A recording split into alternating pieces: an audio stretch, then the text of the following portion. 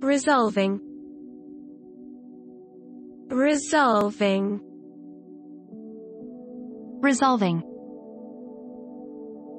Resolving.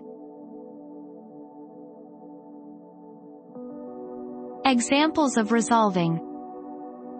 Talk is overrated as a means of resolving disputes. Resolving their differences didn't work, because they don't have any to resolve. Haven't we grown beyond the point of resolving our problems with physical conflict?